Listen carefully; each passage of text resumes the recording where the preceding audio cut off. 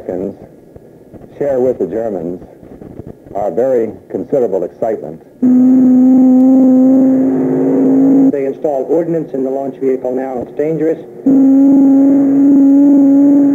We bring uh, the research forward in a, uh, in a region where nobody has been up to now. Poised on a launching pad in Cape Canaveral, a powerful rocket with a delicate payload in its nose cone. A spacecraft that represents the extraordinary efforts of two nations to bring the secrets of the sun within the understanding of us all.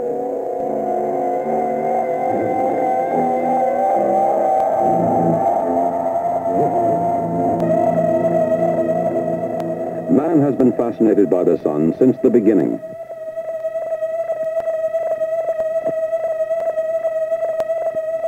In ancient Britain, the Druids built a mysterious monument to it. In Egypt, the sun was worshipped as a deity, and its passage from day to night was sanctified. The Mayans offered sacrifices to the sun.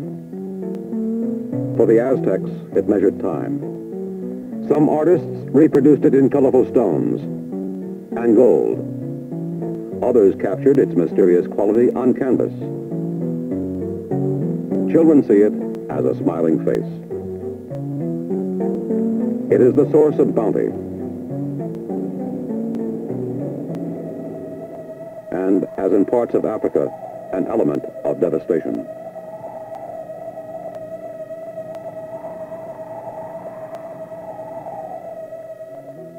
Early man brought the sun down from the sky to within his reach. Modern man journeys upward to understand it. Still, it remains a mystery. A Titan Centaur rocket carries man's latest effort to probe that mystery. Helios, a spacecraft that is to penetrate the unknown regions of the sun. It is one of the most unique missions ever to be launched. Developed by a team of German and American space experts, its success promises to change the basic framework of space exploration. Riding on each blink of the monitors are years of preparation by national leaders, scientists, and manufacturers.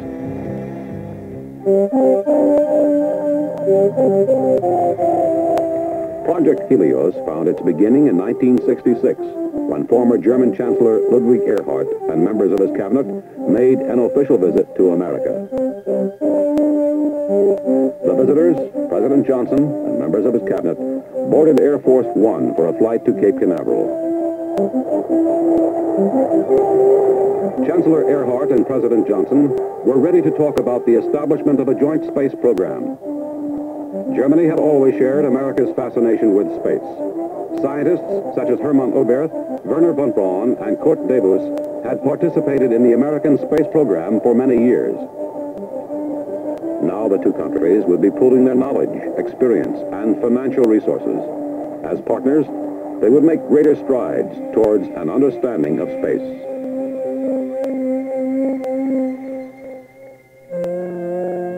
The American space program was expanding to include the efforts of other nations. Europe, as early as 1962, had founded an organization to initiate its own space projects, some of which would be developed in conjunction with NASA. The milestones of American space development were viewed firsthand by the German leaders. This visit to Cape Canaveral represented an important step. It became the springboard for an agreement in 1969 between NASA and the German Ministry for Science and Research. The bilateral effort between West Germany and the United States was expanding. Project Helios was to make Germany a major participant in space research. Total cost would be $260 million. Germany would allocate 180 million towards the mission. It was the advent of a new era in space.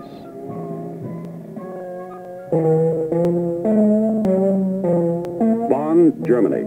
Three years later, at the headquarters of GFW, Germany's counterpart to NASA, scientists from the two countries gathered to plan the Helios mission.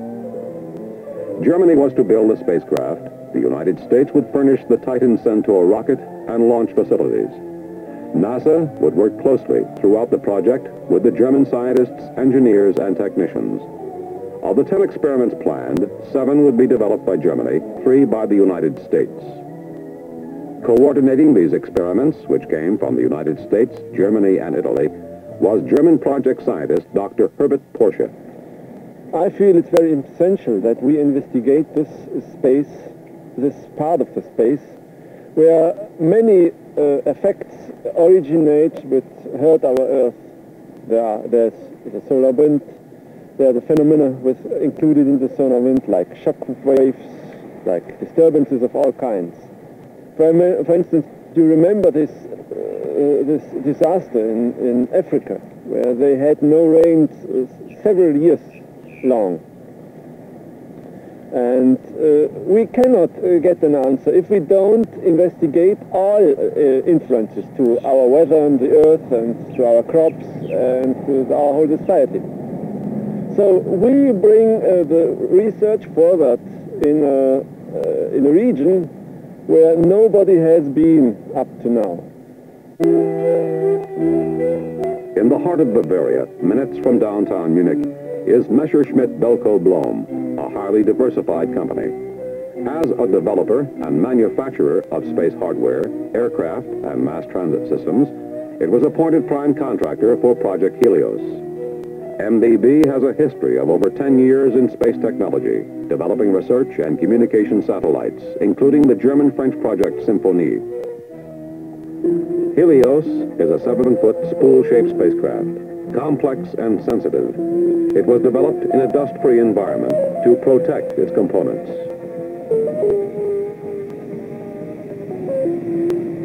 For pre-launch testing, three prototype models of the spacecraft were built, a structural, an electronic, and a thermal model. Each was tested for its specific function. The structural model tests the reliability of the capsule's frame and the use of mirrors to deflect the intense heat of the sun. The origin of the mirror concept is explained by German project manager Hans Kutzer.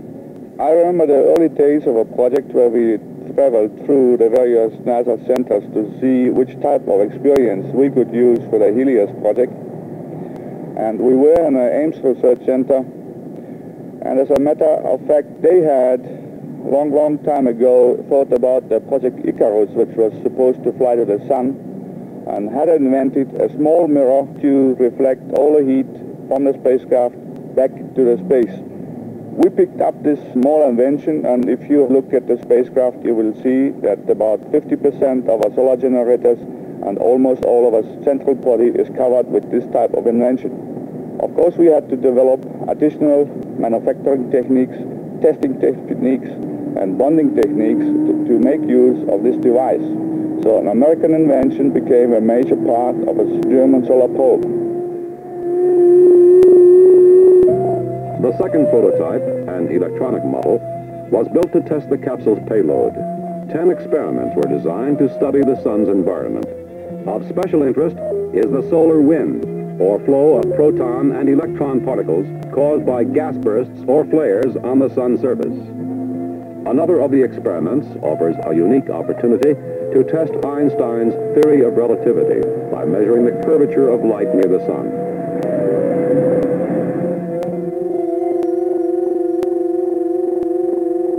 Pasadena, California, at NASA's Jet Propulsion Laboratory, the thermal model was flown in to be tested in a heat chamber. JPL Sun Simulator was designed to expose the capsule to a temperature of 700 degrees, 11 times the heat of the sun at the outer limit of Earth's atmosphere.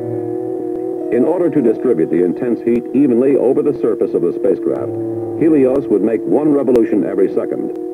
The friction of space particles against the capsule's body would be considerable as it hurls through space at a speed of over 30,000 miles an hour.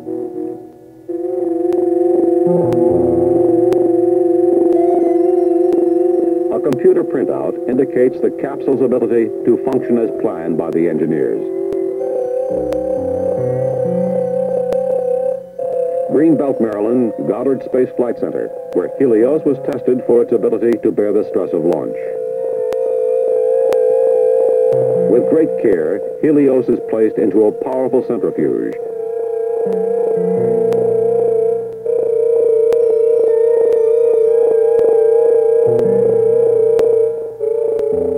2.4 million pounds of thrust would hurl the capsule into space at liftoff. The centrifuge measures the spacecraft's ability to withstand the force of launch acceleration. The computer readings indicate that all systems are stable. Helios had passed the experimental stage. It had made an important stride towards launch. The spacecraft is designed to travel around the sun in an elliptical orbit. 90 days into the flight, Helios reaches the closest point to the sun, the outer fringe of the solar corona. After 120 days, the capsule is behind the sun. During this period, there is no communication with Earth, but the test data gathered is stored for later transmission. The first orbit is completed after 180 days. Rendezvous with Earth will occur at the end of the second orbit after 360 days in space.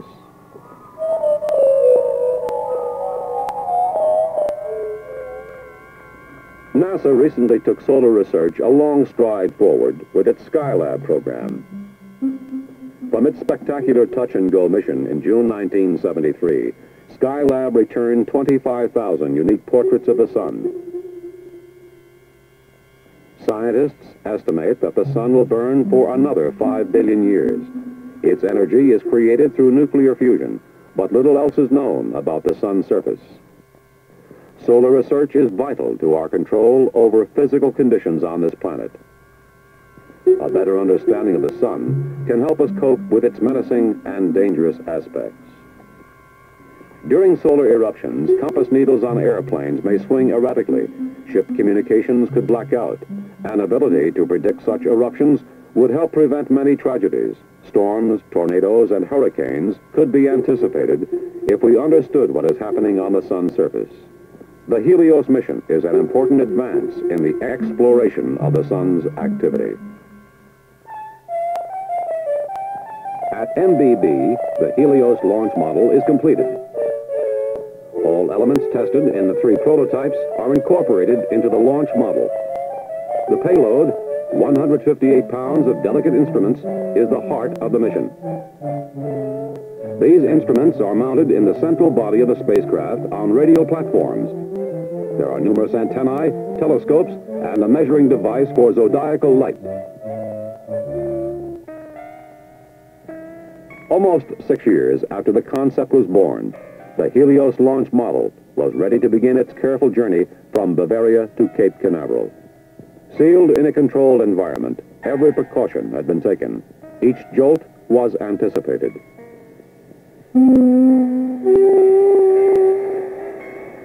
Mm-hmm.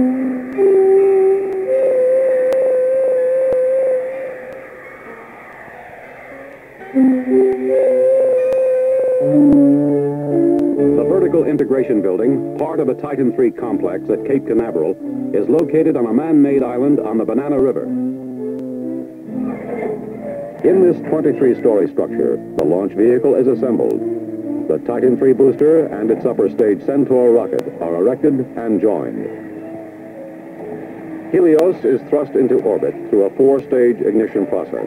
One Titan booster, two ignition stages in the Centaur rocket, and a fourth which places Helios into orbit around the Sun. At a height of 160 feet, the launch vehicle weighs 1.4 million pounds. In the solid motor assembly building, the Titan booster rockets are added, providing the spacecraft with a thrust power of 2.4 million pounds at liftoff. These two solid fuel strap-on rockets would burn for slightly more than two minutes each during launch. The Titan III is the second most powerful U.S. rocket ever to have been launched. There's an air of expectancy as Helios finally arrives at Cape Canaveral.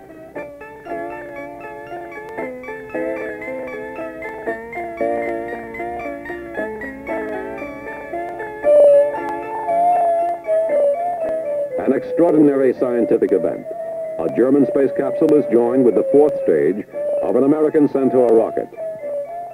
It is a union that requires the utmost in coordination and communication between two countries.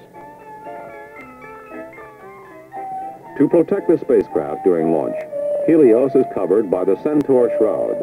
It measures 58 feet in height and has a diameter of 14 feet. The shroud, divided into two sections, is split off before Helios is placed into orbit. Sealed safely within its shroud, Helios is ready to be placed on the Titan rocket.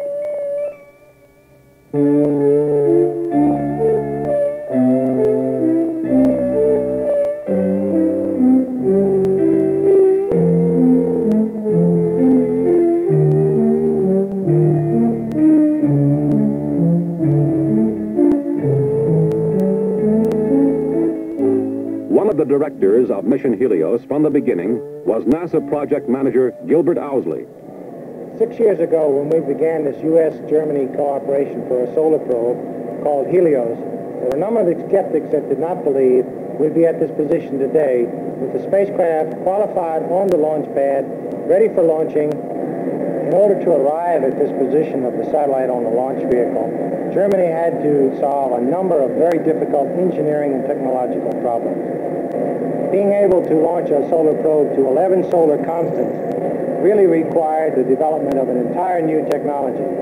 Germany has mastered this, and by providing Helios on schedule with the solution of these technical, technological problems, has clearly demonstrated that they are a first-rate space power, and they have solved problems which are required for a very sophisticated spacecraft.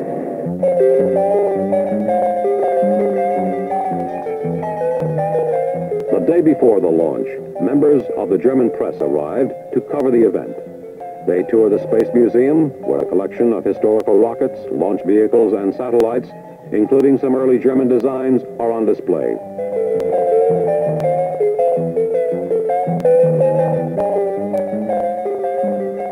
As they continue on their tour, no one can anticipate the dilemma to be revealed at the coming press conference. called uh, a fire drill going on right now on, on Helios. We have, uh, we ran a test this morning in which one of the American experiments was not uh, working properly. We've been trying up till 3 o'clock today when we had to turn all of the RF systems off because they installed ordnance in the launch vehicle now and it's dangerous. Uh, we had up until 3 o'clock today several tests run. We have one more test to run, which we are trying to schedule tonight. Uh, this test will tell us whether or not experiment 5A is the only American experiment in difficulty, or whether it's 5B and 5C. We have determined if it's only 5A, we will launch without the experiment working. If it is all three, 5A, B, and C, we will not launch. Uh, at the moment, we are optimistic and we are hopeful. It may be something which only involves 5A, in which case we would launch anyway. Wir sind alle etwas nervös. In spite of their uneasiness, Hans Kutzer and his colleagues present the tales of Mission Helios. They go on to outline the scope of the project, which was a two-part venture. Imminent, if all problems could be solved, was the launch of Helios A. Helios B is planned for one year later. The data from the two missions would be compared to verify and augment the original findings. Angefangen hat, von einer Konferenz gekommen, die die Leitung des hier durchgeführt hat. Alle Systeme sind Go, mit Ausnahme dieses Problems bei Experiment 5. During launch, many electronic and technical processes are set into motion. In order to test all of them, each step of the mission is fed into the computers. This computer model of the mission seeks to solve the problems which have arisen in the last minute.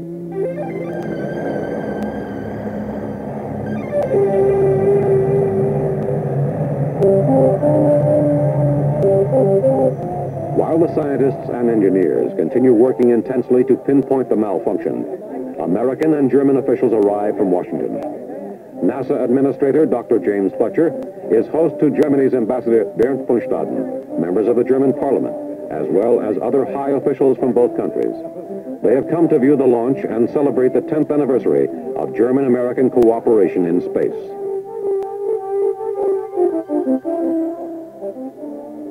A tour of Cape Canaveral includes a visit to the control room in the Vertical Assembly Building. From this control room, many historical missions have been launched.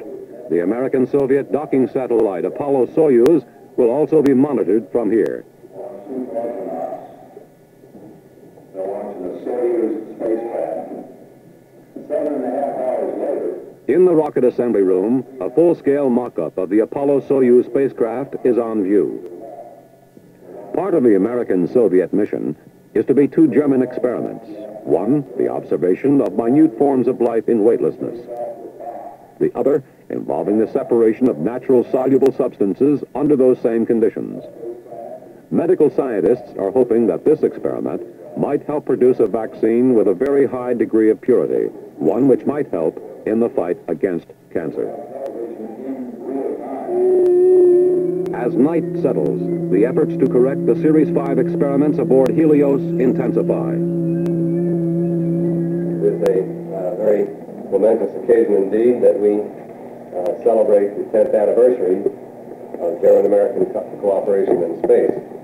A ceremony presided over by Dr. James Fletcher with an address by Ambassador Berndt von Staden celebrates the German-American cooperative space ventures of the past decade. Outstanding amongst these is the joint research satellite Azur in 1965, which rendered important information on the Earth's radiation belt. Aeros A, launched in 1972, explored the upper limits of Earth's atmosphere and was followed by Aeros B in 1974. Today, Germany and other members of the European Space Organization are working with America to develop and launch Space Lab. An exchange of gifts symbolizes the friendship and successful efforts of the two countries.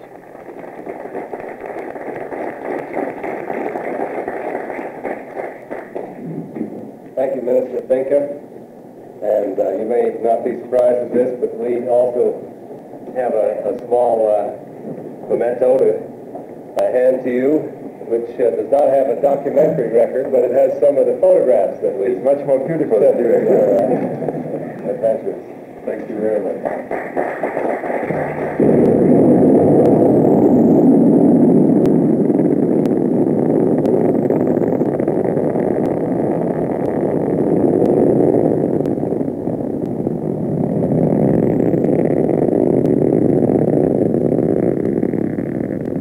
Helios, freed of its earlier problems, begins its journey to the sun.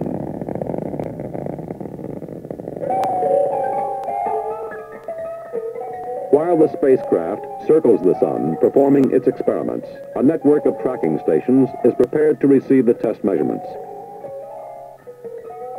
Goldstone, California transmits the data to a command station in Germany, as does Canberra, Australia. Madrid and the station in Effelsberg near Bonn complete the tracking network. Overall mission control, a German responsibility, is centered in Oberpfaffenhofen outside of Munich. Um, during the time of this project, it turns out that you, it is hard now to, to divide the payload in an American and a German payload. It's really an integrated international payload. And the data are uh, correlated in such a way that some American experimenters need data of the Germans, and the Germans need the data of the Americans. The data will, of course, uh, be, investiga- be evaluated by the, in, by the investigators itself. But one year later, laid, will be laid down in the World Data Center and then available to every scientist in the whole world. We feel at NASA that Helios A and B is not the end. We look at this as a continuing project. We feel it's a unique capability that Germany has developed in going close to the sun. It was a very interesting mission in 1980. The comet Encke crosses the plane of the ecliptic very close to the sun. We feel at NASA that this would be a logical follow-on to study the Encke comet for the first time and to make more measurements of the sun at the maximum point of its activity, which does occur, coincidentally, at 1980. Germany has created a yearly budget through 1980 for solar research. The demand for energy is growing. The sun is looked upon as a potential source of that energy for our industrialized civilization. Much hope is placed in the future of space exploration by German Minister of Research and Technology, Hans Matthöfer. Now we begin a new era of European space cooperation and American European cooperation as well. Through a partnership into space, in the vastness of the universe, mankind finds the basis for coming together.